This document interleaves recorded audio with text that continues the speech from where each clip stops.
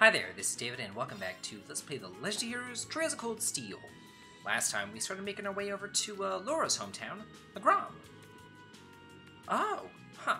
I guess Laura wants Rean to teach the uh, Eight Leaves One Blade School to the uh, Arseid School of Swordsmanship. Yeah.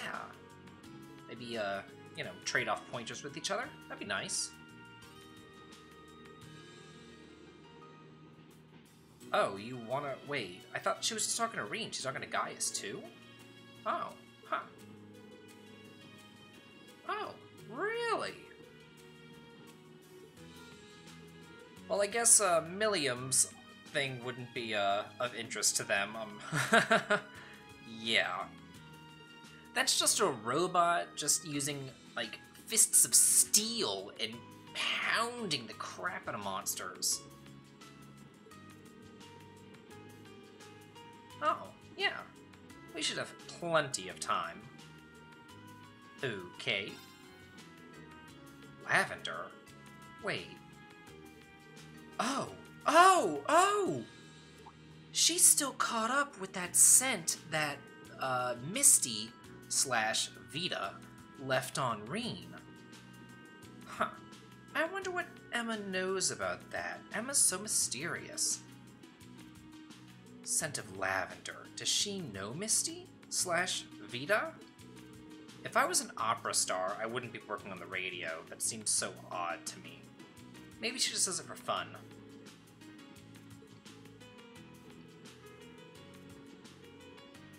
Well, yeah, of course it would.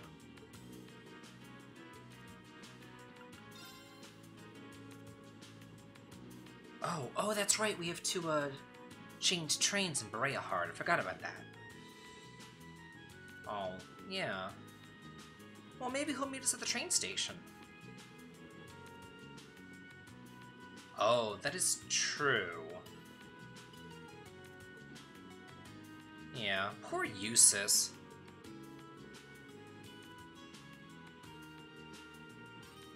Huh. I wonder why that is. Yeah. Well, no news is good news, I imagine.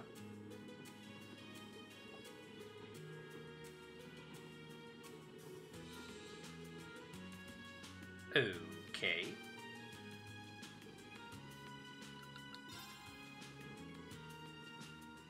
Oh. Really? Huh. Yeah, I would imagine so. Yeah, just like all the traditions over in Nord and everything, too. Oh, the Lance Maiden. Yeah. We'll learn more about that in Cold Steel 2 as well as Cold Steel 3.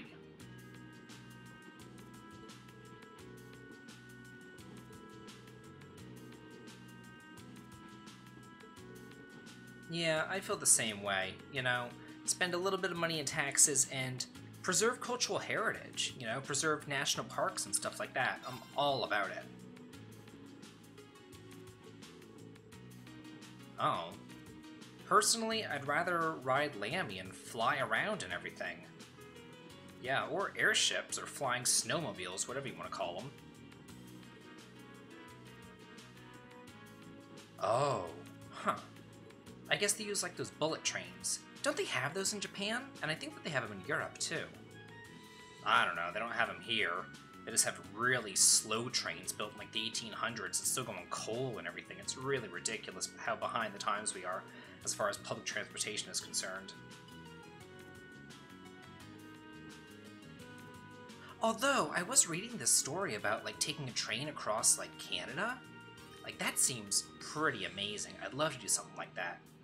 And they had some sort of cabin that had like a glass ceiling, and at nighttime you could just see the stars as you were traversing the prairie. Like, that would just be really nice. Love to do something like that. Okay, so I've already played Blade off screen, so let's go ahead and stop talking. Yeah, I'm done with these people. Oh, well, I guess we're just headed on down to uh, Bareahard. It would be nice to see Rufus again. I'd always like to see him. It's a sight for sore eyes, if I do say so myself. Oh, okay.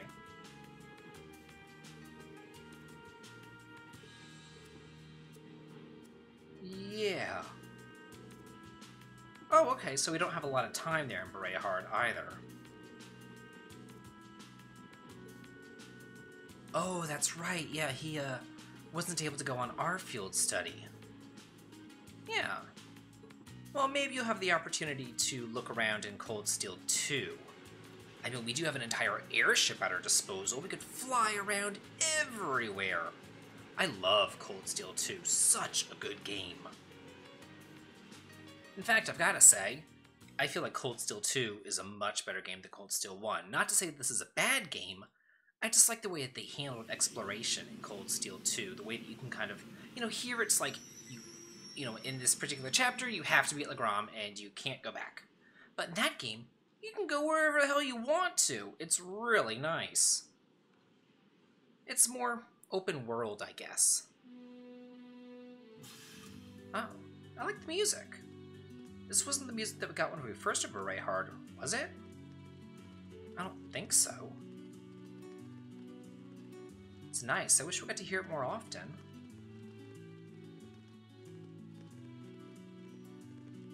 Oh, we're just going straight across. Well, how convenient. What are you guys standing around for? Get on the train. What are you doing?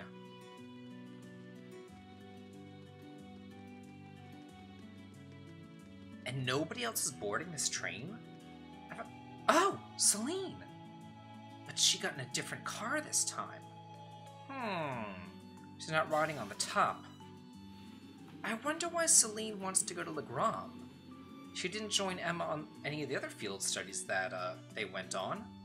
But all of a sudden now she wants to go to Legram? And Emma seems really mysterious, like thinking about Misty and all that, and that lavender perfume, as if she knows something. Maybe Celine knows something too. I don't know. Maybe she's just a regular normal cat. Oh, Millium's asleep. I guess we're going up into the mountains now. Oh.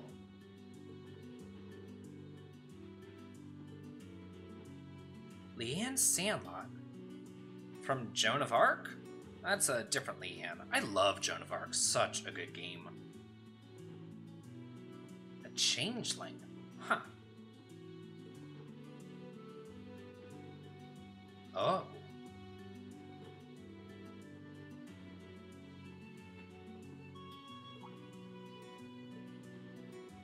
Well, what is it? Do you see something? Oh. Wow. That scenery changed really quickly. I guess we're getting higher up into the mountains then. Well, that and the elevation, too. Poor Millium. Wow, they weren't kidding about this fog. It's really thick here.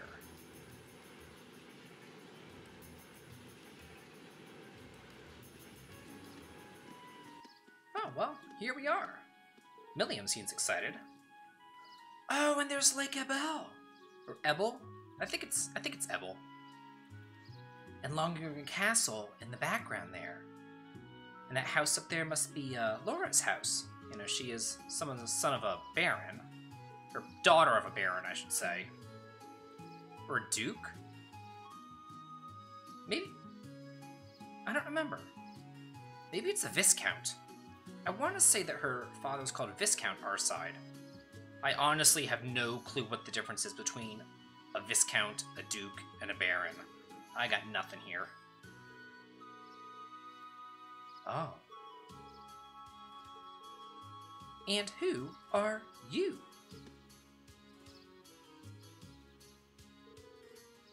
Oh. Klaus. From Mother 3? No, he looks too old to be that Klaus. Oh, a butler. Are you gonna join our party? That'd be nice. But this isn't Tales of Xillia. Can't have that either. Oh. Oh. Great. But Laura seems to get along with her father. Shockingly enough. She's like the only one.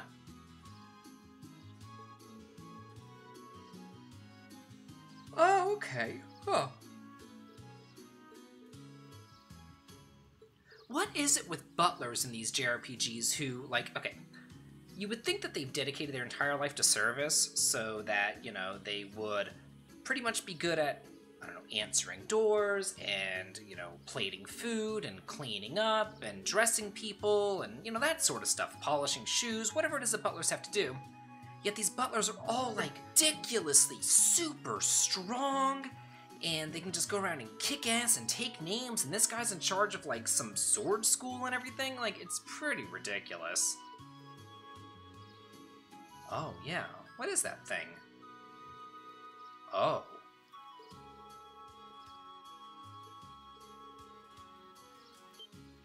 Yeah, no kidding. Oh, what? Oh, that must be uh, Lianne Sandlot, the Lance Maiden and her two little knights. Oh, the Eisenritter. Huh. Oh, wow.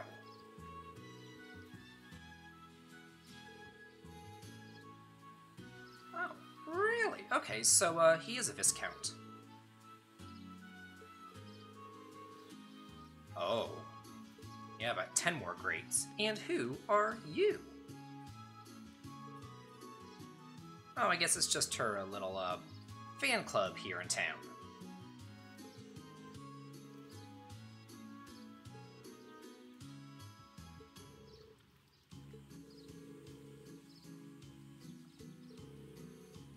Well, yeah, I would imagine. It's a small town, and she is, like, pretty much royalty here. Oh, Yusa seems jealous. Poor guy. Oh, oh, hey, Toval. Hey, good to see you. And a Bracer Guild, too. I believe, oh, there's Celine, that this is the first Bracer Guild that we've actually come across in this entire game. Well, besides the abandoned one that we had to stay in. Huh, so I guess Toval's giving us our tasks. That's pretty cool.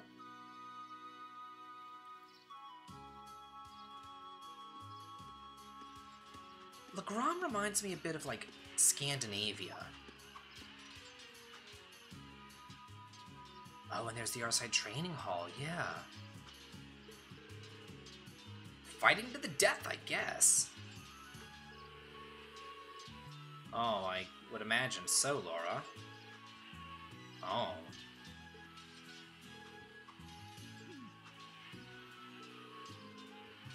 Yeah, no kidding. None of these butlers in JRPGs are.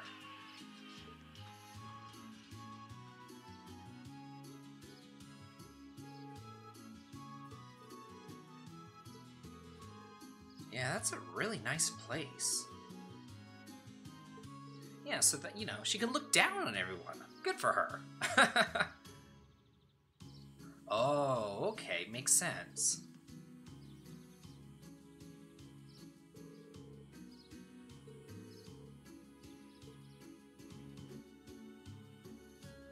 Oh, beautiful chandeliers. Those are really nice.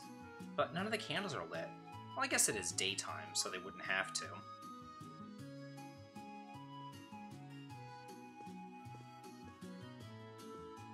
Nice paintings there. I guess that one in the background is of Lohengrin Castle.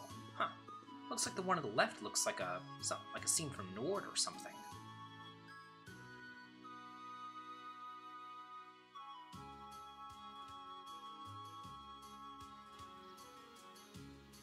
This is so pretty. This nice, beautiful mansion right on the lake with the castle in the background.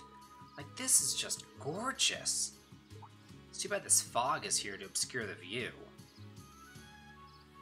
Yes, indeedy do. It is.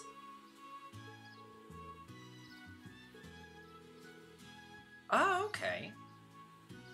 So Lianne Sandlot was there.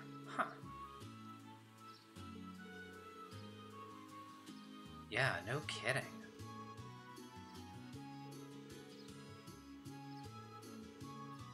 Okay.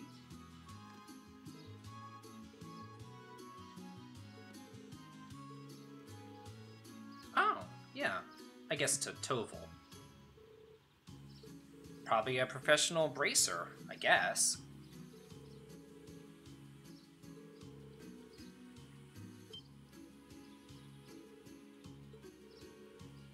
Uh, yeah, Laura's talked about this ad nauseum, actually.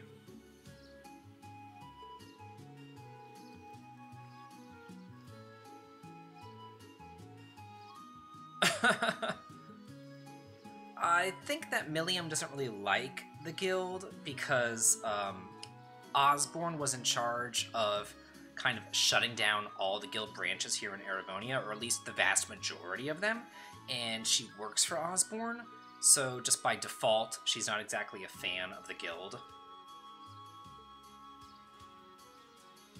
Okay, well, let's get on out of here and uh, head down towards the, uh, the uh, guild. Let's see. I'm going to be talking to all these people as usual in an NPC bonus episode, so I'm not going to worry about it right now.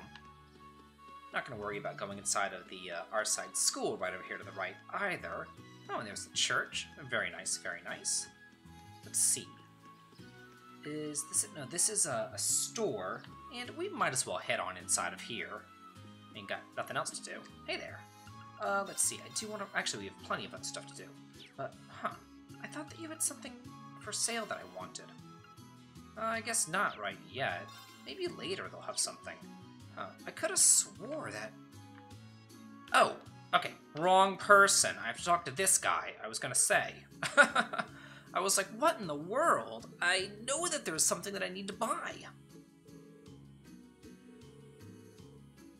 Oh. But that's good, though. Oh, except that you're not getting your deliveries. Yeah.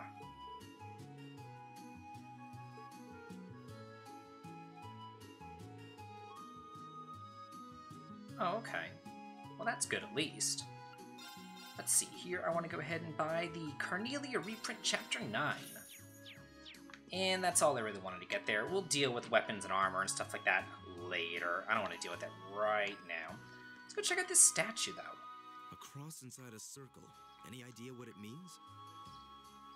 No one really knows for sure. There are a number of theories, though. Unfortunately, the meanings of most animus symbols have been lost over time.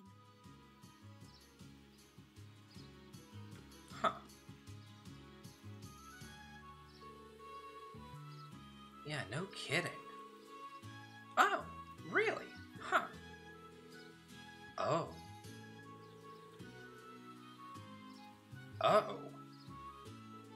Call forth spirits. It's kind of creepy.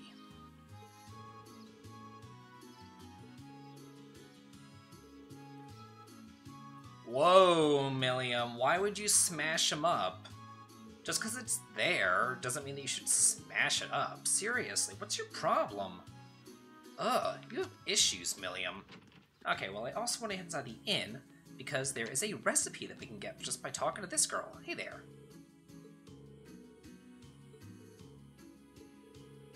Oh, what's that? Oh, um, we're just classmates? Really, girl? Seriously? Would you think that she was like a member of a harem or something? Like, come on now. Ooh, refreshing pasta soup. Nice. Oh, okay. Well, thanks. Yeah, awesome. And let's head out this back door as well. I think that there's a fishing spot back here. I could be wrong. I've been known to be wrong.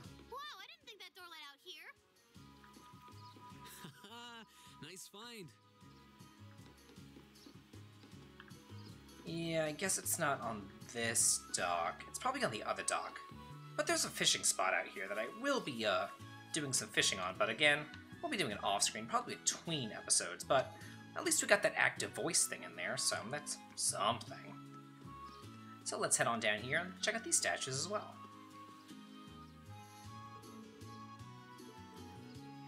Yeah, no kidding. Oh, okay.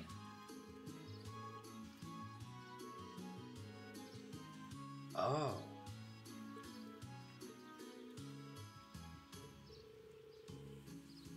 Yeah. Huh. Well, that's nice. At least Laura has uh, someone to look up to, it seems. You've got a wharf here? We do. A ferry makes trips between here and the opposite shore. If you crossed the lake, you'd be in the Sutherland province, right? And here we have a fishing spot. I'll be doing the fishing spot off screen though, but I just figured I'd show it off. Okay, but now to actually move on with life. This building is the Legram branch of the Bracer Guild.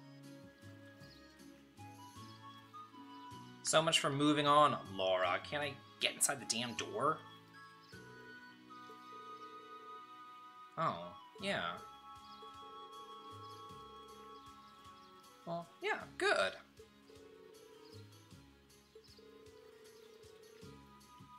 Oh, okay. Makes sense. Yeah.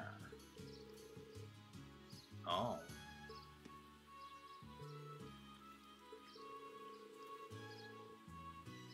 Oh, really? Huh. Well, why is that, Millium? Well, that's a good thing, Millium.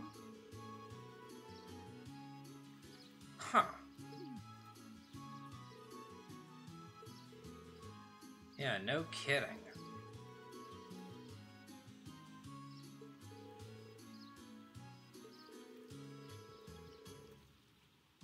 Oh. But if they're just there to help out the citizens, why would he not like them? That seems rather odd. And who are you? Hey, Toval. Yeah, good to see you. Oh.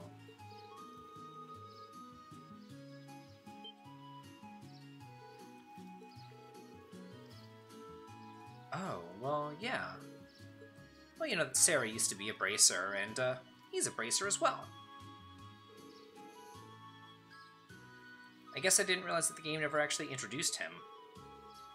Eh, I'm just used to him from, uh, Cold Steel 2. Helped us out a ton in there.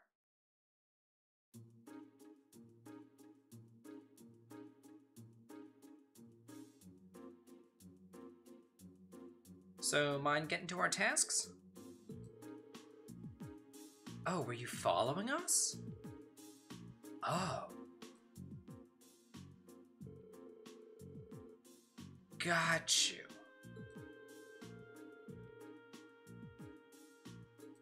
Well, he did give us those clues about the uh, underground waterway and everything. Yeah, no kidding.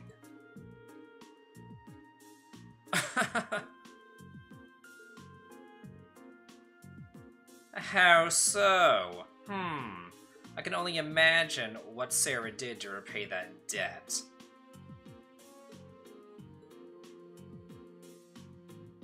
Yeah. Oh. Oh. Oh, well that's good. So why are you here? If everybody else left... Well, I mean, I guess if he just works here, this is his way of scraping at the living. Oh. Oh, you're talking about Claire? Yeah. She's also a member of the Intelligence Division, so I guess she's like one of Millium's coworkers.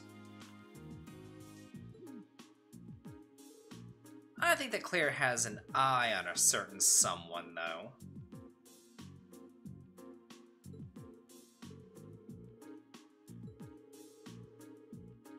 Okay, well that's nice.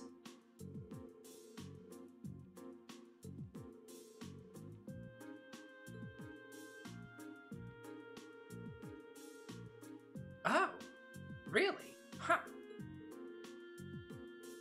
Her father seems like such a good guy.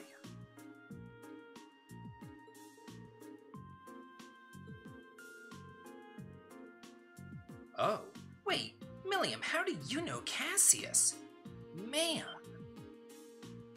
You really do get around, don't you? Yeah, that's him. Um, yeah, she does do spying for the government, so I guess she would know about Cassius. Huh. So, uh, what do you have? What do you have?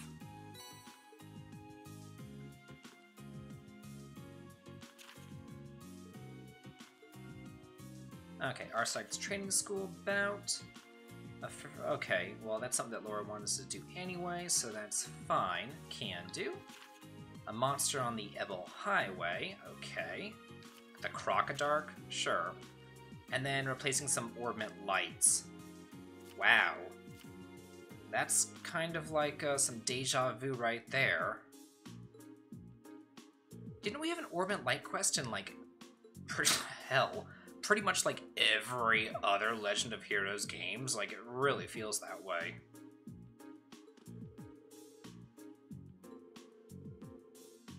Oh, I can imagine.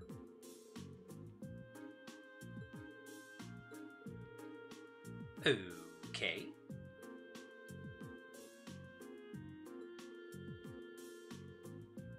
Yeah. Oh. well, at least Millium seems excited. Good for her. Okay, and we're gonna go ahead and start on all these quests next time. Let's play the Legend of Heroes Trails of Cold Steel. This has been David. If you like this, please like, comment, and subscribe, and have a good day.